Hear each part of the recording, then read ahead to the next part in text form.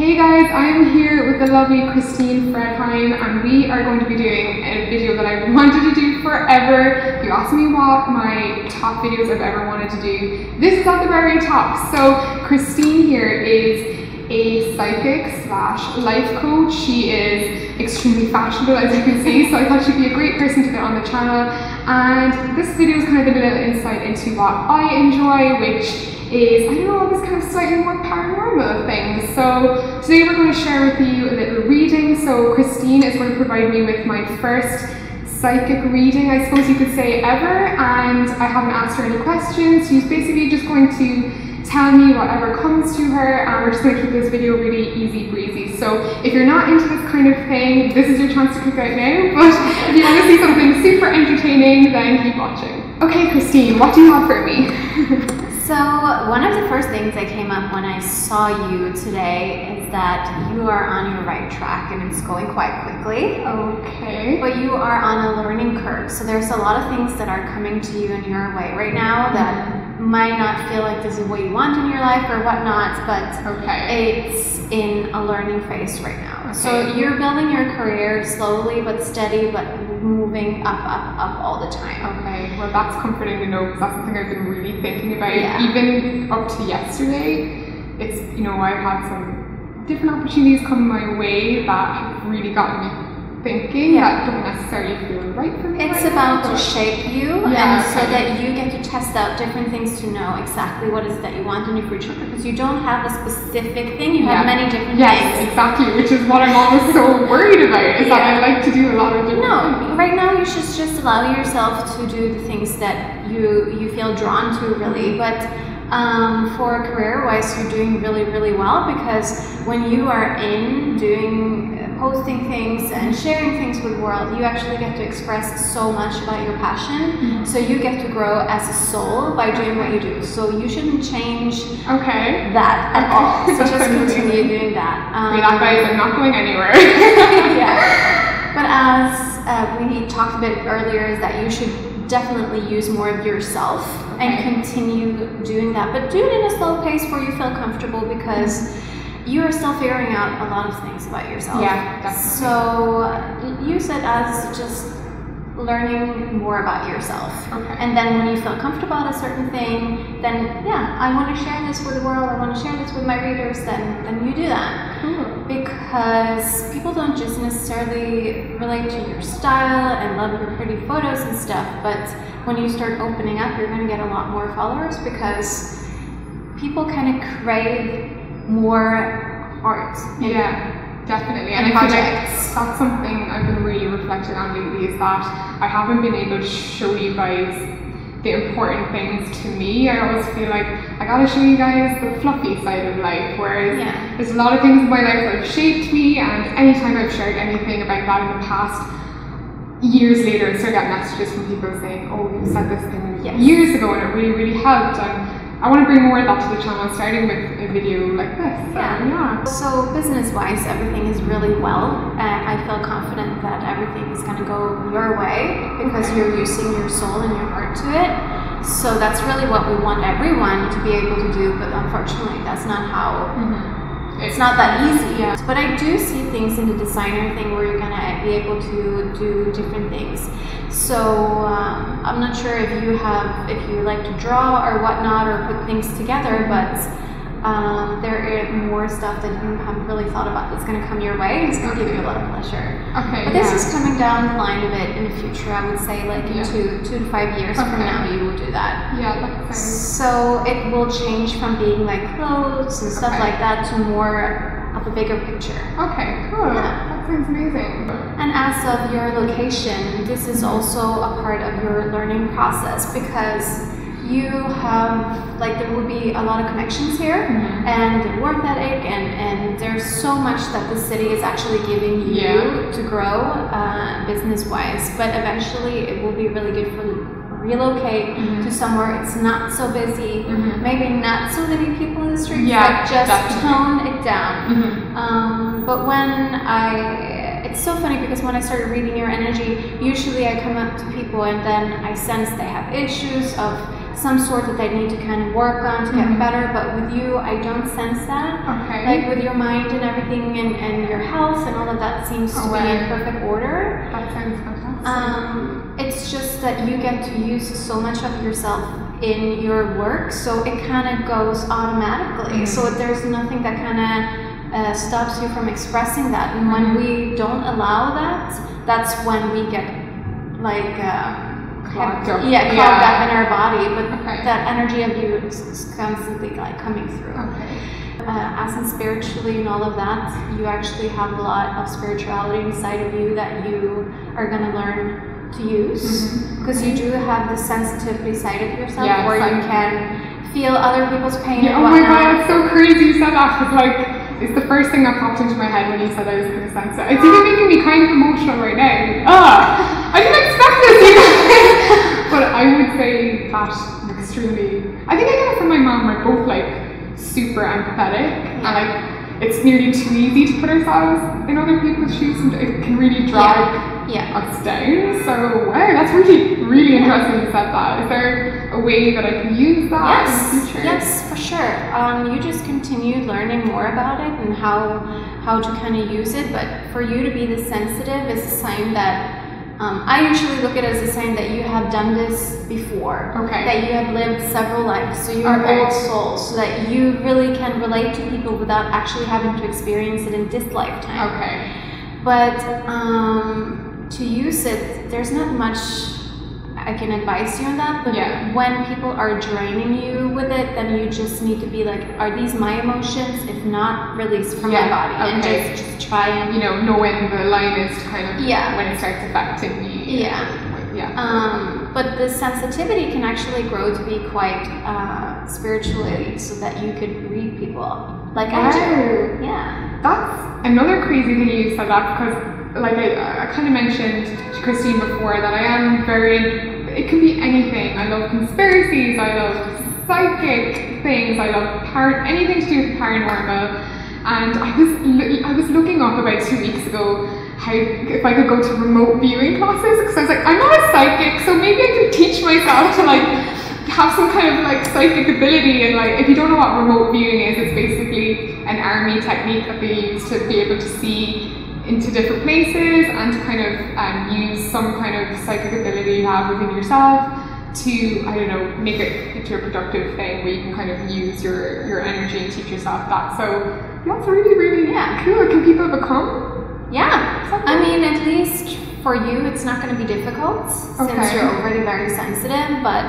I mean, uh, I know a lot of people that, or not a lot, I knew a few people that wasn't very spiritual even Mhm. Yeah. and spend time meditating and that kind of opened it up more and then just being interested in the spiritual stuff and doing uh, and talking to people about it and kind of what you do and um, one of them one of the closest ones i have turned into be like a full-time psychic. Oh Yeah. wow that's incredible. But i do think that he had some suppressed you know psychic skills yeah so he wasn't okay really just like popped out of the box. Yeah when I'm kind of alone, I do feel like there. Well, I like to think that there's people kind of looking out for me and watching out for me, past relatives, things like that, and that I'm not personally highly religious, but I'm definitely very spiritual, and that you know sometimes I still go home and I say my prayers, and I say my prayers to the universe, and I say my prayers to you know deceased relatives that might be watching over me, and sometimes I feel like they are they're really listening and sometimes I've had like answers, pr- uh, pr- sometimes I've had prayers answered, just like, whoa, like, I mean, how did this happen? And I feel like, you know, things slightly went my way, or, you know, if I wished good health on somebody, do they Yes. make, do they let me know that they're there, or am I just imagining it, or just assuming that? i mean? The part of being a human is supposed to, supposed to be hard yeah, There's a reason why we do not remember much from spirit world because we're supposed to face Earth and learn all these lessons the hard way because Yeah. that's how we grow. Mhm. Um, but as of our spirits, helpers, and God and whatnot, they're here for us all the time, and so the universe. So when you pray, you are they're listening. Mhm. Um, and personally, like I believe in God, but not in the way that people, Yeah. you know, has Exactly. Me too. I believe in like some bigger Yeah. thing. There is I just don't know something. it is. There is something bigger, and I think there's a reason why we are here on Earth, and that's to kind of become, I don't want to say become more godlike, but Mhm. become more pure Yeah. and have something to kind of draw us upwards. Okay. Because why are we here if, if, If not, yeah. there's no purpose? As of in my experience, when you when you pray um, and when you believe, you will get them answered. Mhm. It's when you start doubting and being like, do I really deserve this? I don't know. And when you pick, kind of pick on yourself, because I find Yeah. that to be the biggest problem why people don't get what they want is because they don't let themselves have it. Okay. Um, but um, yeah, so they are listening and they are there. Like our helpers, they are they are on their toes next to us and be like, "Help! I'm so excited, I want to help you. And does everyone have their own kind of and Yes. and like are they Nobody's completely random or No, no, no. It's um, I usually talk about this when we come more into, it, but in heaven we have a group of souls. Mhm. So you can look at us as a soul family. Okay, yeah, okay. And in one soul family, you could be like 15, maybe 35 souls. Yeah, okay. And within these souls, you have your soulmate and twin soul or whatnot, the people that you're really close to. Mhm. And when it's time for you to get born, Mhm. maybe eight of those souls in that group gets reborn with you, Okay. and you meet them here and there. Okay. So the people that you still have, or the souls you still have in heaven, will be there to protect you in spirit world, and then you have the ones that are kind of like angels here on earth Okay. which is from your group as well. So that's why sometimes when you meet someone, you just get this instant connection. Okay. Like I know this Person. yeah. And because of all the technology and our human minds and all of that, it's kind of hard to focus and really feel Mhm. that. Yeah. But when you're open to it, you know. Okay. Yeah. Wow. So so interesting. And we were speaking about souls there a while ago. Are you able to channel what I might have been in a past life? Do you do you know Yeah. the kind of person I was? Mm, Multiple people. Like what kind of comes to you in terms of what I might have been or who I might have been in a past life? Well, you have lived several lifetimes, um, and usually lifetimes come up if it has an important effect on this Okay. Um, but the first message that comes in, and I think this has to do with all of this when it comes to you being able to express yourself. Mhm. In the past life, you haven't been able to do that. Okay. So that's why it's so important to you that you're so passionate about actually Yeah. doing that. Um, I feel like the the I don't I'm not sure if it was the last one or the one before that, but um, I just see a lot of poverty. It's kind of those old. Um, I'm more attracted to say like England or Scotland, kind of those buildings where there were kind of castle but Like- smaller. But I just see the kitchen area that are for Okay. the workers yeah, of maybe like house. 18th century Yeah. or something, where it's not The quite like medieval, Yeah. but kind of not quite like 19th century. I just see you there like making food and stuff, but it's not your house. You're just working there. so ironic because I love cooking. But I did get the sense that you really liked it that as well too, because then you had your alone time to really do what you like to do. Mm-hmm. Um, but then again, you had people that kind of owned you. Yeah, yeah. So you were It was so working for someone. So Yeah. in this lifetime, you get to be completely free and independent in all the things that you do. So uh, that's really important for you as a soul to continue doing so. Okay. Yeah. And would you say I have more lives to live after, or am I coming to like? I it, is there a point where? don't feel like you. I feel like you're done. Okay. well, Yeah. So I better live it to the full, right? Yeah, but it's you know we always have the choice to come back, but most souls really don't want to come back because mm-hmm. it's super hard here on Earth. Yeah. It's one of the most popular schools that you could do because we have the mental and we have our emotions and then mm-hmm. spiritually and then our physical body. We have so much all at once, but as a spirit, we're just love Yeah. and that pure pureness of light. So it's really difficult and hard here, but Yeah. I do think that this is your last life. Okay. So I've done all the things that I needed Yeah. to do So. You've always been a very quick learner and you're growing really fast. So I don't not I don't see it necessary for you to come back. Yeah. I don't see any problems that you have that you really need to sort out on your own either. Okay. Well, that's comforting to know. I can just live my life. Yes. That's really rare by the way. Oh, because I think weirdly, I, I know a lot about myself deep down, yeah. but it's kind of cool to have somebody kind of come along and confirm Right. that. This is actually a question that I wondered. Okay, you know so much about others, your your guides. Do they tell you things about yourself? Does, do they help you? Do they let you figure things out on your own? Yeah, or- sometimes. Like my guide is my father, and he Okay. passed when I was 15, and, and I look at him as my twin soul, so it was extremely difficult for me. Mhm. But he has the same personality, and he comes off in the same role as Okay. being protect, like Yeah. really protective as Yeah. a father. Um, and he especially interferes in my dating life. Oh god, I can imagine. What's that like? I mean, It's like I tell people he's the biggest cockblocker ever.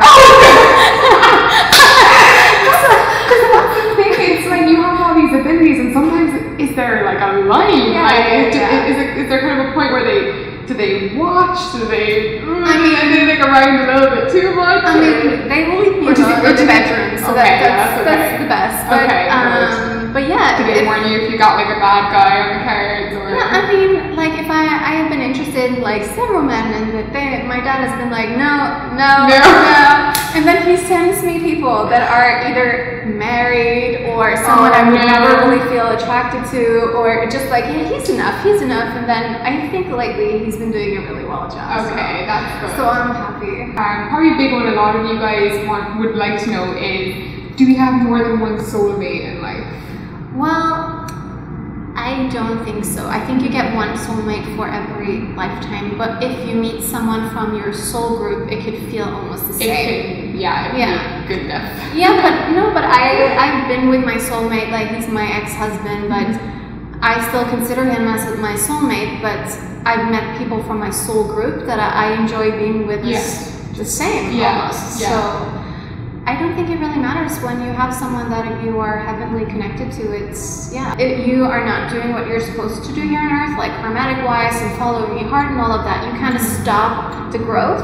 Yeah. And if your soulmate is doing what they're supposed to do, then you're not in line. So yeah, you have to move on from that. yeah. My boyfriend's very like go with the flow. I feel like he's kind of like, yeah, just tell me what to do and I'll do it. You know, Yeah. kind of like. I'm very go getter he's kind of like the opposite. He kind of Yeah. like. I But feel like sometimes I he's don't the always- pillow under your arm. You just Yeah, him with you. yeah. He's kind of like the polar opposite Yeah. of like what I am Yeah. career-wise, and is that like a good balance? It's it's good. He's gonna be more. He's gonna be more what you want when you're settled as well. Okay. He just needs some time, really. Okay, yeah, yeah, it is. Yeah. Like, not everyone is like Yeah. go go go. But he's very comfortable with life and all of that. But it's just I feel it can trigger you. Yeah, yeah, sometimes. Yeah. Wait and see, because I think it's a very good match. I feel very good and calm around you two. Okay. And right now, there's not another man that will kind of help you through this process Mhm. because the fact that he's kind of like a pillow, like I said, Yeah. it makes you more space to follow what you need Yeah. without having that interference of mm-hmm. someone else that Yeah. you really love and care about to be mm-hmm. really passionate about their stuff. That's yeah. So you get so much space Yeah. to do the things that you need to do. Yeah. I just feel like your whole chest area here is just like a magnet to where you're supposed to go. Okay. So you're really safe in that area. Awesome. And I do feel like you have a lot of protection, so I don't sense that you're gonna have to go through a lot of horrible things and, and whatnot, or being Okay. robbed and all of that, you know, Okay, scary stuff. no, because some people they are quite attracted to to going through like a lot of unnecessary Shit, shit. yeah, say. yeah. But it's not in your frequency. Okay, that's good. Live on the Upper East Side, people. only, only these dogs. so that is all uh, Kristine. It's been an absolute pleasure. I'm so excited to share this video with you guys. I will leave all of Kristine's information down below. She has an amazing website where you can get in contact, get a reading um, through Skype or in person. I think you work from Norway, New York, um, amazing place, yes. right? Yes. So yeah, so if you want to check out more about her Instagram, everything will be down in the down below. And I will see you guys next time. Bye guys. Thank you so much.